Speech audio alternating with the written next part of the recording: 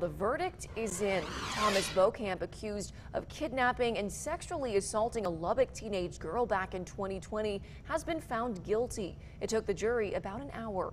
Boukamp, who represented himself, was found guilty on all 16 charges, including cyberstalking, transportation and travel with a minor for sexual conduct, and production of child pornography.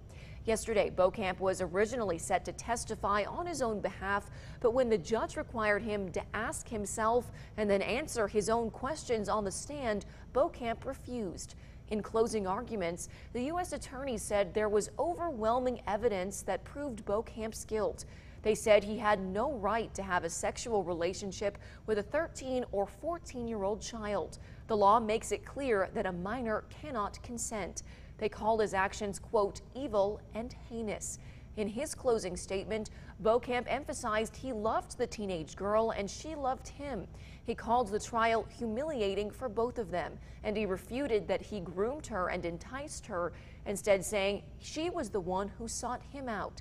He even said, quote, I wish I could take my brain and plug it in, end quote, so that the jury could see how things happened from his perspective.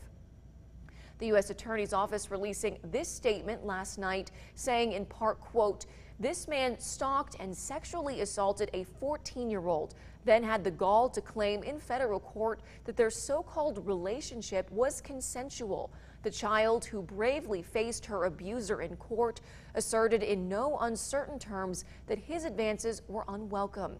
We are immensely proud of this child and hope this verdict brings some solace to her and her family. End quote. Boukamp had no comment yesterday. He will be sentenced at a later date. He's facing up to life without parole in federal prison.